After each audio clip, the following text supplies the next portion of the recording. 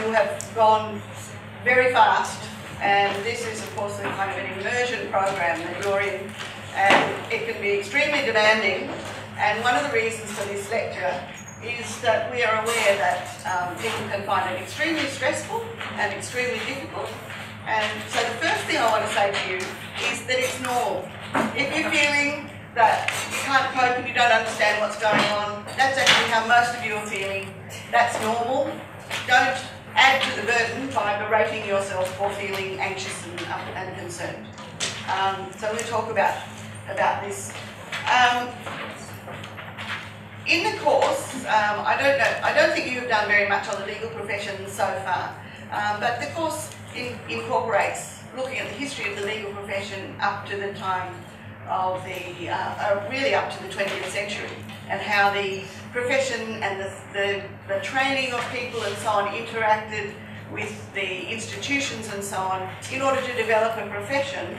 And in fact, the profession that we know today, we take a lot of information um, and a lot of institutions have just been brought from the British system and then adapted to our system. But in the case of the legal profession, it looks, the British one looks extremely familiar because we also have the barrister solicitor divide and so on. Um, the 20th century was a significant, created significant changes in the legal profession. So before I go on to, to talking about this, I just want to point out to you that for those of you who did manage to read chapter 16, you will see that it's that what I'm talking about there is the fact that up until the 19, probably the early 1960s, the legal profession was nearly all smallish family-based firms. Um, the large firms that we see today are a very new phenomenon. And this phenomenon exists across the whole world.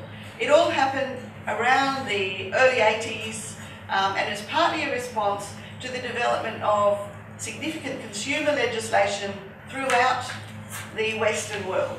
So all of a sudden, very large law firms came into, came into play because it was worth it for very large manufacturers, large um, corporations and so on to protect themselves by having a very close and cosy relationship with law firms. And so we suddenly developed the mega firm, which of course we is now one of the, um, I guess it's, there's a, we now say there are three kinds of uh, lawyers. There are barristers, there are solicitors in general, and then there are solicitors in large law firms. One of the things I would really like you to take away from today is to not fall into the trap of assuming that working in a large law firm is the pinnacle of legal practice. It's just one form of legal practice, so it serves, it's useful for some people, but it is certainly not the only one, and it's really important that you don't fall into the trap of thinking that it's the only way. So, looking at the legal profession um, nowadays, I guess one of the things to talk about is the fact that we're talking about a profession. So what, what's a profession? If we go back to the medieval times, there were three. The priesthood, the lawyer, and the physician. Those were the original three professions. They were all regarded as healing professions. And the thing that was uh, the marker of those professions was that they were supposed to put their client, their patient, or their um, their congregant ahead of themselves. That was the mark of the profession. Whether that continues to be the mark of a profession is something that you may well need to consider. Um, but one of the questions that we have to answer, I think, as professionals and as lawyers today is the extent to which it is meaningful to call law a profession. And what I would like to suggest to you is that it's actually important that we do and that we see the profession as a service profession and that the role of the lawyer in the service profession is extremely important. And that is the lawyer who upholds the role of law, the rule of law, and puts their clients ahead of themselves. So, we're moving into a profession. This is how Roscoe Pound defined a profession. He said, it's a group pursuing a learned art as a common calling in the spirit of a public service. Now, you will, later on, you will do courses in professional ethics. You'll do a course here called Lawyers Ethics and Justice, which addresses the particular legal ethics that lawyers have to deal with. And, you know, and you'll be already familiar with some of them. The idea that the lawyer has to appear for, uh, the barrister has to appear for a client, they can't say no in certain circumstances, um, that you, everybody's entitled to representation, so it isn't a matter of you always agreeing or thinking that your client is right, and so on. These are parts of the um, professional ethics, and there are lots and lots of rules, and you'll be learning them. And one of the things that this lecture today is about is how you end up relating your personal identity with the professional identity that you're going to develop. Um, one of the reasons for this is that we know that a great deal of stress that lawyers suffer from relates to questions of professional ethics. Um, so there are really difficult um, issues for many lawyers in that they, um, because lawyers are adversarial advocates um, and so on, the lawyer is supposed to decide what is in the client's best interest, um, things like that. There are, there are great difficulties sometimes in balancing out the instructions your client may be giving you um, with your legal ethics, the rules that you're supposed to follow, or indeed you may feel that your personal morality is actually at risk here. So one of the things that we know about the legal profession is that a great many people who leave the legal profession do so because of something that they regard as an ethical issue. What this means is that we need to know, we need, people need to think carefully about their personal professional ethics. And I see this lecture as the start, hopefully, the beginning of you developing a sense of your identity as a person, as a professional, um, because I see this as one of the most significant ways to develop resilience in the face of the stresses that are inevitable. So this is not, I want to, I'm going to talk to you about resilience and anxiety and depression and so on. I am not, this lecture is not about saying to you that the best thing in your life is for every stress to go away. Because A, that's completely unrealistic, um, and B, it's not true. People need a certain level of stress. There are all sorts of issues. Okay, so the first problem is looking at what we know about law students and lawyers and depression. And depression.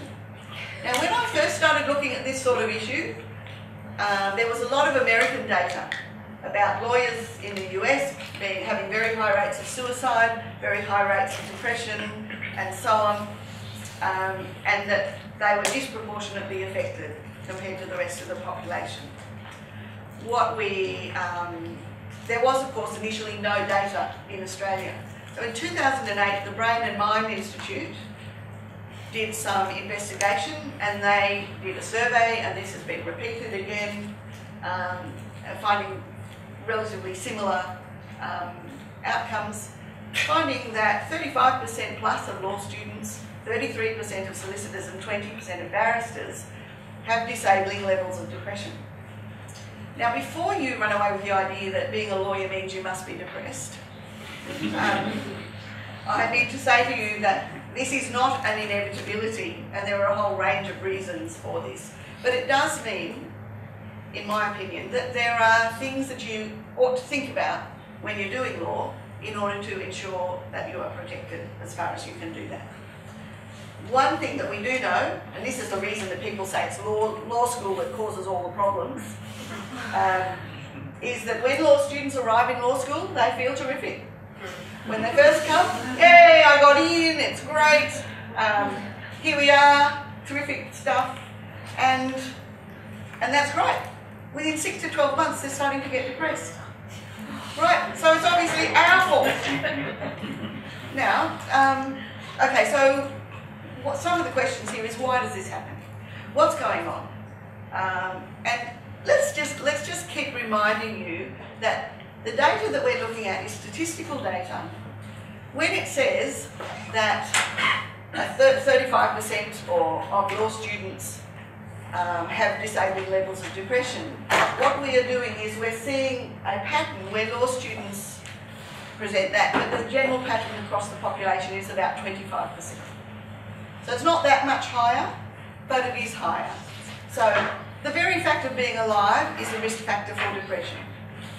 Okay, so don't run away with the, the idea that this is all inevitable because it really isn't. Okay, so how do we um, try and develop resilience? Now, resilience, I've, I've started to detest this word um, because it's become so trendy lately. But um, we are talking about being able to bounce back. Being able, when something comes and whacks you in the head, being able to stand up again. That's what resilience means in this context.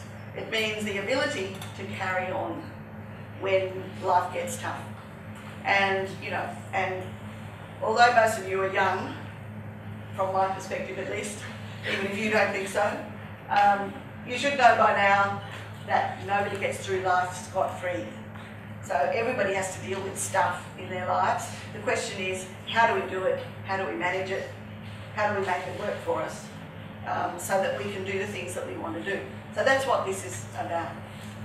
We know from the psychological literature that um, in order to have well-being, another word I currently detest, um, and uh, resilience, we need things like people need to feel secure, they need to have a good sense of their self-esteem, they need to feel competent, they need to feel socially connected, and they need some sense of autonomy.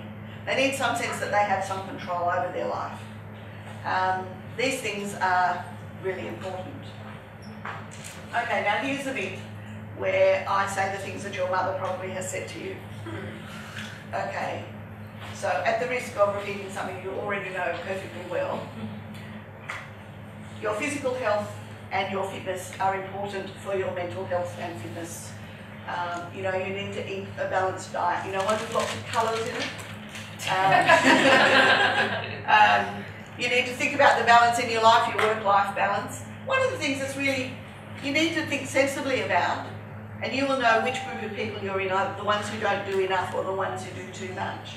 That you actually do need breaks because your brain actually runs out. If you keep on working when you're too tired, you won't be very effective.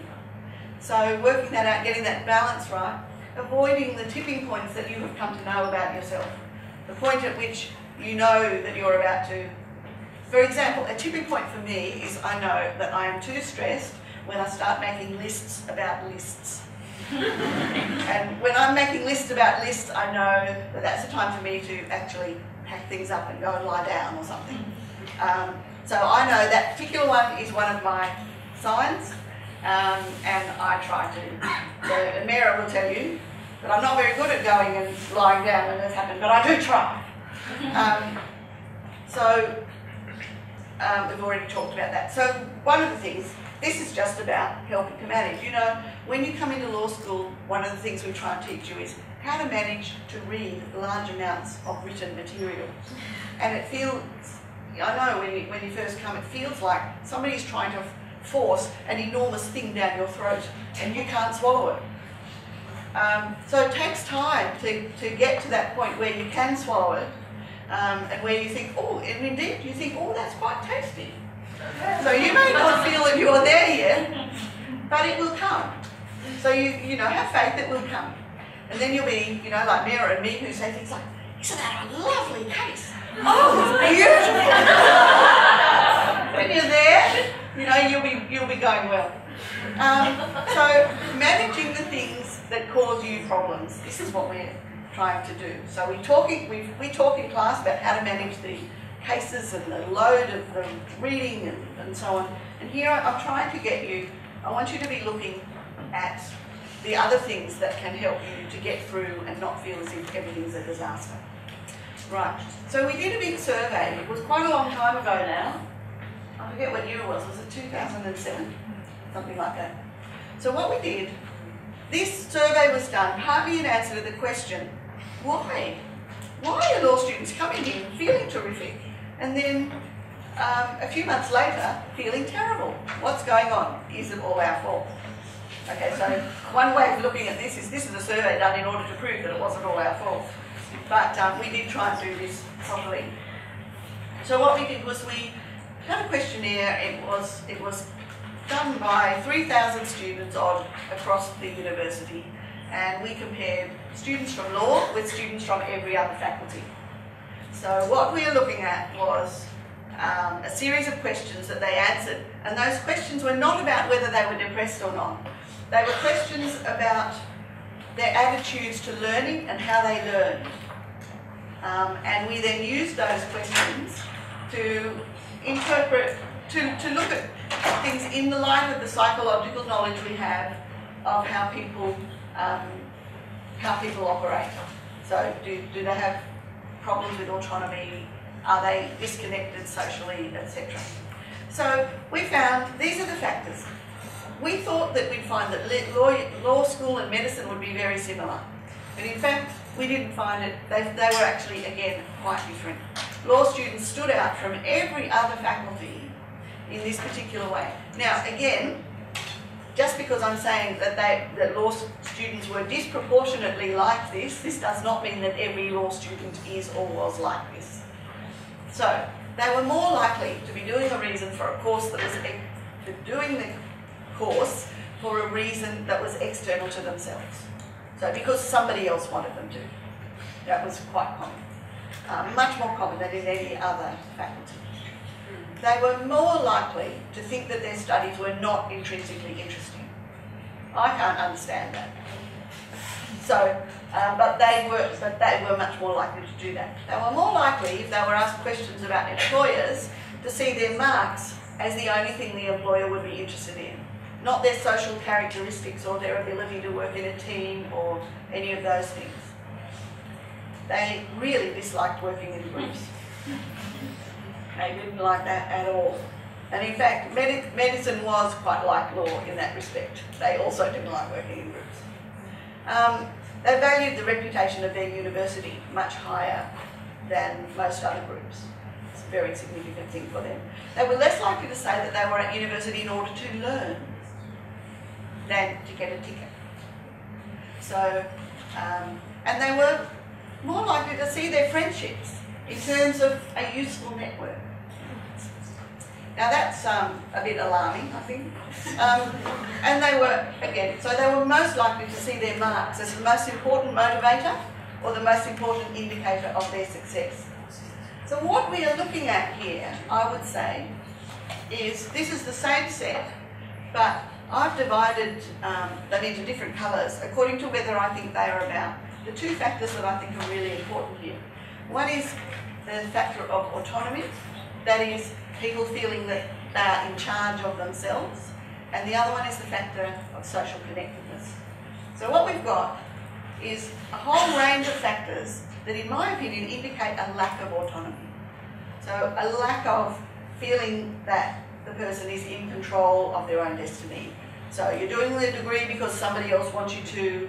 You, um, you are looking at things that are external to yourself. Marks are very important. Marks are, if you use marks, for example, as a way of evaluating yourself as opposed to evaluating your work, you're actually doing something really dangerous. Because if you think of yourself as a person who gets 68% or whatever, and then you get 30%, which is extremely unlikely. But if you do that, then you, you've handed yourself over to somebody else. So thinking about things like that is quite important. Similarly, the reputational factors and so on. Um, similarly, the um, social connectedness factors seem to be quite important in the way that the students responded. Now, it seems to me that you know, we cannot make sure that you have a roof over your head. We can't do some of those things. But the things that we can look at include helping you to look at your own sense of personal and professional identity, and in particular, to give to encourage you to develop a sense of agency about what you're doing. That is a sense that you're in charge. You need to think about whether your motivation is internal or external, it's worth working, trying to make your motivation internal rather than external because if it's internal, you're in charge of it. Um, your self-evaluation rather than external evaluation is important. Um, if you allow other people to evaluate yourself always, you're actually um, handing yourself over. Now, the, I, um, I'll talk a bit more about that later.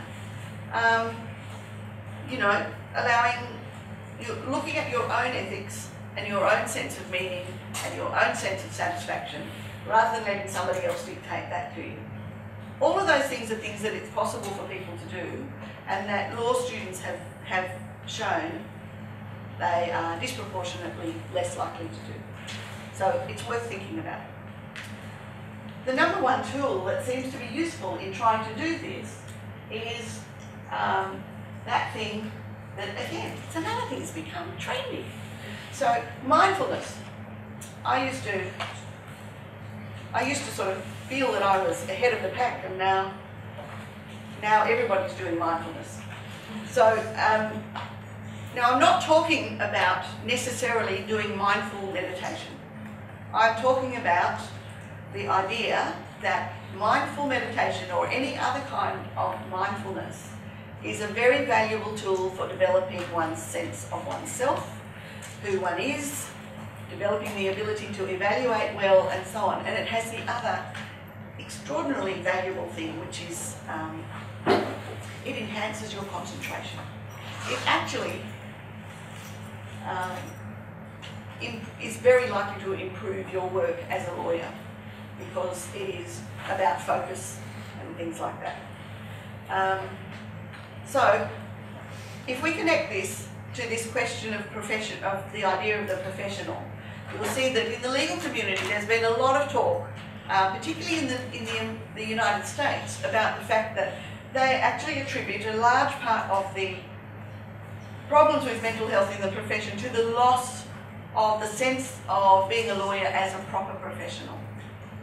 So there's been a call for uh, a, a, a, move back to the sense of the law, the lawyer as a professional, as a person who, what they call a lawyer statesman, a person of practical wisdom, who can do this thing that we are trying to train you to do, which is learn to come to judgment. Coming to judgment is the hardest thing to learn to do in law.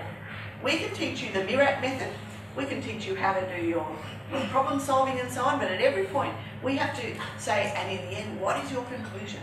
And you must come to a conclusion. You can be a philosopher and you don't have to come to a conclusion. But a lawyer has to, because the lawyer or the judge, in the end, has to deal with real person, real people with real problems, and what they have to give is a judgment. That's a very difficult thing, and it requires a very complex cognitive process in order to do that. It isn't just about applying logic. It's a lot more than that. So, all right. So I'm just going to talk a little bit about mindfulness. Um, so for those of you who haven't been overrun by the mindfulness juggernaut already, the this mindfulness is um, most often seen in the first of all for people in the context of mindfulness meditation. So that is finding a system of meditation where these things happen.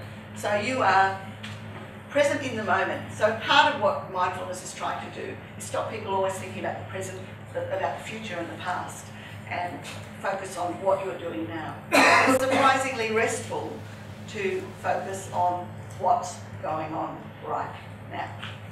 Um, in the legal profession, with its culture of speed, the adversarialness and so on, it's really easy to just get into a, into a state of what I call mindlessness because you cannot concentrate, you're rushing and everything's all here and what are you going to do with it and um, how am I possibly going to deal with all this stuff.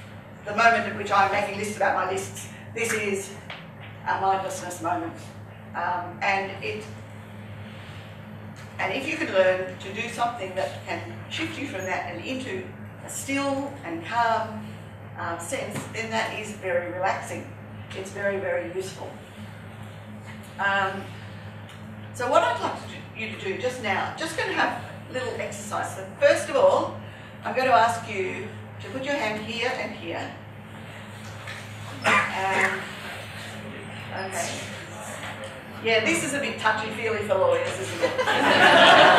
so, so now, just feel which, which one of your hands is going in and out the most. So is it the one on your belly or the one on your chest? Okay, those of you who, it's the belly, put your hand up. Okay, those of you that it's on the chest, the chest. Okay, now you notice there's a lot more chest people. Usually that's a sign of anxiety. So if you're using high chest breathing, that's not what you do when you're really calm. When you're really calm, you're much likely to use lower. So um, that's something to think about. Um, I'm sure it's also possible to be calm while doing chest breathing, but um, that is what is said.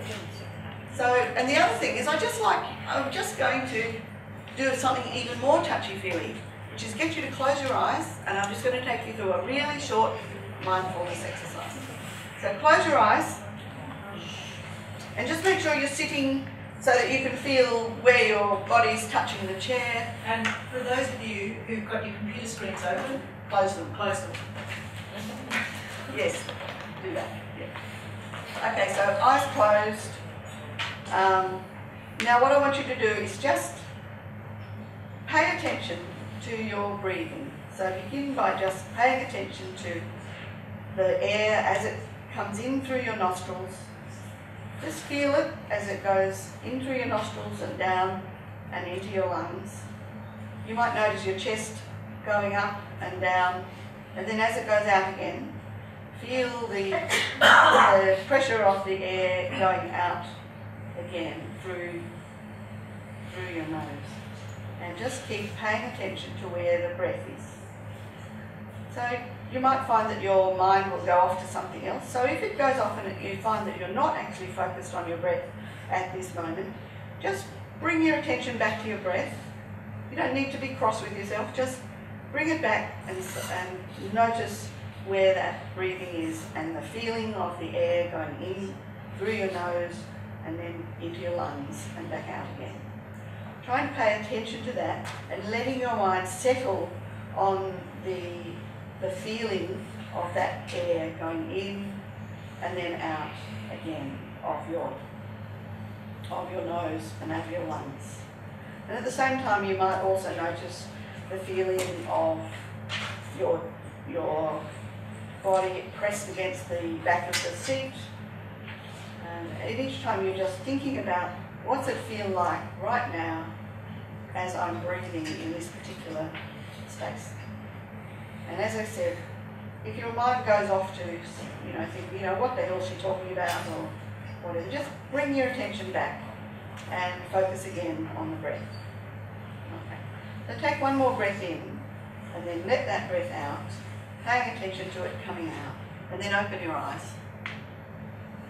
Okay. So, now most people who are doing a mindfulness um, meditation exercise will spend longer than that, of course, because that's obviously only a tiny taste. But it's very, very simple. There's nothing really magical or strange about it. It's just paying attention to something that's right, that's present in such a way that you are um, aware of yourself in that present moment. What you're actually doing is training your ability to focus, and that gives us real benefits. It gives us benefits in relation to stress, um, slowing your metabolism and your cortisol levels and, and all of these sorts of things. I don't, I don't really need to spend much time on this. Um, but what, what it seems to do, it seems to improve the improve people's health and well-being in a whole range of ways. The question is, there are also these cognitive benefits, which lawyers are more interested in than relaxation. um, so they're more interested in the idea that it can heighten your self-awareness and your ability to concentrate, that you can, it'll improve your ability to retain and retrieve information, And now the other thing that I'm really interested in is that it also seems to enhance people's ability to um, empathically respond to other people. Um, it improves their ability to be compassionate with themselves. This is a problem that lots and lots of law students have, that they kind of thrash themselves. So if they do something wrong, they go, oh, you stupid idiot. They talk to themselves like that. Um, when actually what they could say is, oh, you did that again. I wonder why you did that. You know, it's, you did that, oh, well, you didn't really mean to. That's all. That's okay. Next time you can try again. So you don't have to be so tough on yourself. And we know that mindfulness meditation of this kind actually seems to help people improve these things and also improve their general cognitive levels of functioning. Um, what, one of the things that I'm particularly interested in is the fact that mindfulness uh, meditation and other kinds of um, um, contemplative exercises seem to actually develop something we call metacognition. Metacognition is the ability to stand back and look at yourself or to observe other things accurately in a way that where you are relatively detached and therefore not hurt by what you're seeing. Um, this is actually extraordinarily important for lawyers because for lawyers often um, you need to, you need to, as I said, you need to learn to come to judgment. You need to judge other people. But if you judge people in what we call judgmentally, you may actually do quite a lot of harm. So there's, it's actually quite important that you can learn to refrain from overacting or overreacting to situations because this kind of focus on um, mindfulness and contemplation and um, working out what is really in front of you is really important. Now I'll just give you a little example. A friend of mine um, was a, a, young lawyer and she was in the family court with her client.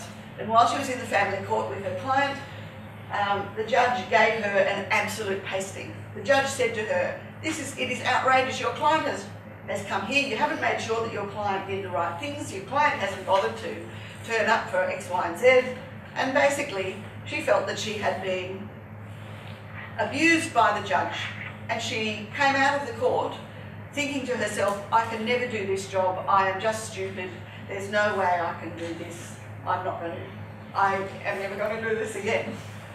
And, the, and a more senior colleague came up to her and said to her, you realise that the judge only said that to you because he couldn't say it to the client. That actually what the judge was doing was trying to get a message through to the client by putting it through you. It wasn't about you at all. It was just a way that the judge was trying to use to get through to the client. So the ability to stand back, look at what seems like abuse and say, well, what's it really all about? Is this really about me? Is there any validity in it? Etc., etc. was a really important thing for her to learn in order for her to deal with some of the nasty things that can go on when you're in a profession that's dealing with difficult things in people's lives. Okay, so how do we know all this stuff? Well, we've got these nice pictures. so here's a nice picture of a, uh, a Tibetan monk. Um, and we all know that they're the best meditators in the world.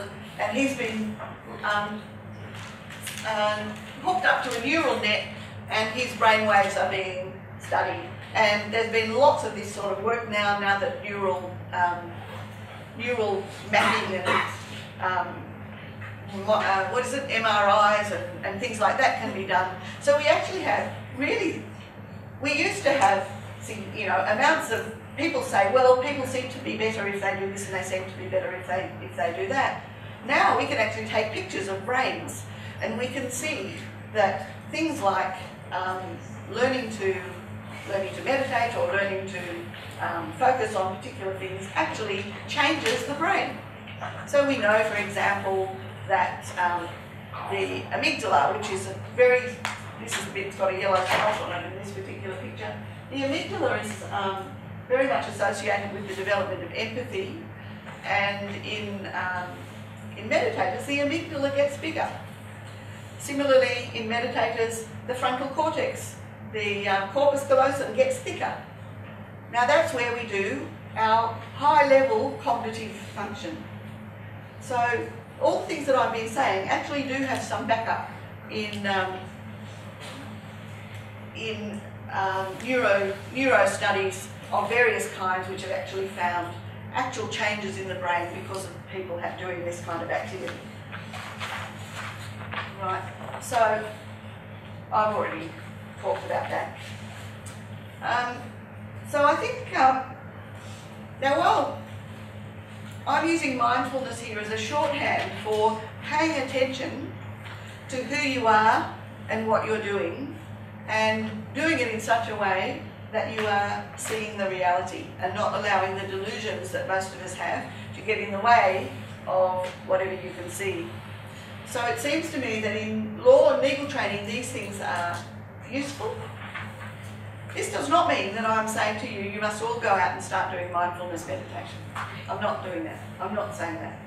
It is not, what I'm saying, suggesting is that what you should be doing now in your course is to be thinking about what suits you and what doesn't suit you, how you do things, how your own um, ideas about your ethics and so on um, operate. You might consider, I'm not suggesting that you have to do it, but in the book there is a possible exercise you can do, um, which is just to think about what you would like people to say at your funeral. It's an interesting exercise because lots of people are not thinking about that when they're thinking about what they'd like to do with their life. And yet sometimes, if you think about what you'd like people to say about you after you die, that might suggest to you some values that you didn't realise you had. So, you know, that might be something that you could think about. Um, so, the idea of metacognition, that is that you need to learn for law to, um, to be able to think about thinking, to be able to think about yourself from a fairly neutral perspective, to be able to think about other people from a fairly neutral perspective, which includes a, a certain level of empathy. Um, these are things that are really, really valuable for, for the, the process of being a lawyer. So what I would suggest to you is that one of the things that you ought to be doing in order to make sure that all this all this stuff that looks sometimes like a horrible load of crap coming towards you um, doesn't completely overwhelm you, is to be able to think carefully about who you are. So have an authentic sense of yourself, and that authentic sense of yourself needs to consider ethical dilemmas. Now, I mightn't say this to business students. Now, this is not because I think all business students have no ethical, um, ethical interests or anything, but it is because there is some evidence that people who go into professions have, have different personality characteristics from people who go into business. And so they are a bit more likely to be interested in getting into the profession in order to serve other people. The thinking about that and whether that's what you're interested in is important. I think you need to develop a grammar for yourself for discussing and developing your own ethical program and working out how you will deal with ethical dilemmas. And let me just point out to you, you are about to do an assignment, are you not?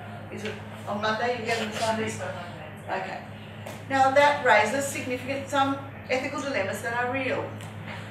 And what I'm talking about here is plagiarism. Whose work is going to be handed in by you? It needs to be your own. It is unethical to use somebody else's work and pass it off as your own. You know, it's also not very good for your learning and so on, but it's just immoral. It's theft. So we take it really seriously. You need to pay attention to that.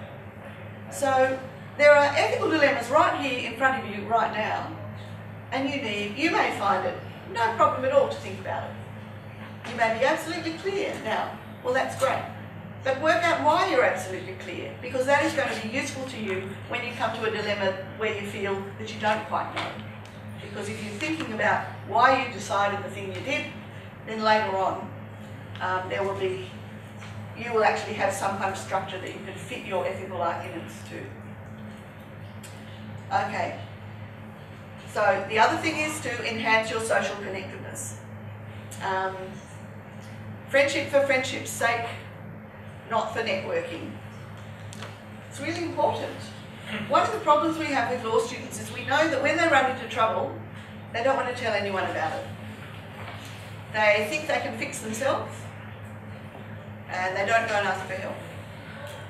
Um, part of this, part of this may be um, because of a sense of friendships as not really being about friendship, but being about networking. Um, because if you're just in a network rather than in a friendship, then your network needs to be strong, it needs to be full of people who are very capable, etc. But a friendship group doesn't work like that. A friendship group supports people when they're feeling down and knows that everybody has a moment of feeling down now and again. Um, that's a quite different thing. So it's worth thinking about that and um, I think I think it's actually really valuable. The social skills of courtesy and respect are very important.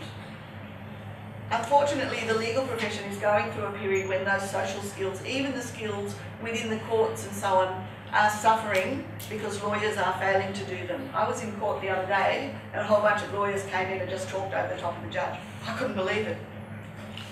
I saw that actually just on Wednesday. Oh, I couldn't actually believe it. I was quite surprised. The rudeness. Sorry, it's just a, it was funny because, and I, one of the things I noticed, so the judge came to the bench, the lawyers were still discussing an issue, didn't stop. They were also there being nice, so everyone could hear talking. Um, and I was, I recollected that there's been a recent study of the Supreme Court and looking at which judges are more likely to be interrupted by which advocates Yes. and that there is a gender dimension to that. Yes. And I, it did occur to me that that might have been one of the One of the factors driving that particular attraction. It's very interesting. I've never seen it before. I've never seen a Judge. Well, I've never seen it before this Yeah. time, and when I was talking to the judge after the case, he said to me, he actually brought it up as an issue. He, he thought that younger lawyers' um, courtesy and, and adherence to the norm, to the traditional norms of courtesy at the bench bar are at risk. And that's a serious issue. I think that's a really serious issue. Why is it important? It's not important that you can say, you know, my learned colleague or my learned friend and all that. That doesn't matter. But what matters is that you use forms that refer to the person who is opposing you on the bench. Because otherwise, what you're doing is, otherwise you're basically just having a fight. It's the whole point of the legal system is to take disputes away from people who would otherwise have a feud or something and deal with it in a, in a much more civilised fashion. And for that, the principles of courtesy of the profession are vitally important. So don't think this is just some hidebound traditional piece of crap that we can ignore. It's not. It's actually fairly fundamental to the idea of the rule of law. So it's important. Okay, so if you're going to become a resilient lawyer and law student, then you use the best tools that you have available to you. So, um, one of the best tools that you have available to you is to ask somebody for help when something goes wrong, and to ask early rather than later. If you ask early and you just talk to a friend, often you can head off a big problem early. If you are, um, if it's worse than that, then you can ask a staff member, you can ask a, um, you can go to counselling, you can go at the, the university office, free counselling, you can go to your GP. All these things are sensible things to do if you are being distressed. Nobody is going to hold it against you. This is actually something that's really important for you to understand. We all know what it is like we all have struggled through a law degree. We might have done well in it, but that doesn't mean. I can remember the first few weeks of my law degree and thinking, I have no idea what is happening. um, so, you know, we've all we've all lived through this, and we all know that every now and then life comes up and, and does something awful to people. And if we can help each other. So you're in a law school where people really do try to help. So take advantage of it. But if we are not the most appropriate people, go to someone else who is. And don't try and, and just fix yourself because you don't want to let anybody know that you have some weakness. Everybody has weakness. There is nobody who can withstand appalling stress without getting into trouble. But we all have times when we're coping well and times when we're not coping so well. So one of the important things about this lecture is to remind you that you may not be the best person to treat yourself if you are having um, serious issues with depression or anxiety. It may be better to get somebody else in on the thing with you because that just works better. We're not very good at looking at ourselves quite often. Um, so, if you are interested in doing mindfulness meditation, um, there are all sorts of apps. Now, just one little word of caution. If you already, if you actually are seriously depressed now and you have a tendency to ruminate, you should not do mindfulness meditation now. Okay? You should go and see somebody. but for everybody else, this is something to get started when you're well in order to enhance your, your general well-being. You don't need to do anything at all. Nobody's going to ask you whether you are. That's fine. We just want you to have the opportunity to be able to deal with these things in the future because we know that being a law student and often being a lawyer can be stressful. We can't take all those stresses away. For example, people have said this to me before, can you stop marking our essays? No. no, we cannot. We must inflict that stress on you. So um, it's about you learning to deal with the stress rather than us taking all the stress away. Um, and you know, we're not in Hollywood, so things do sometimes go wrong. But you know, you can always ask Mera or me. We're available for an appointment if you send us an email, and, then, and um, we will make time to see you. So that can be done as well. Now, I've just burbled on. Are there any questions? I have looked at your faces, so I knew whether you were asleep or not.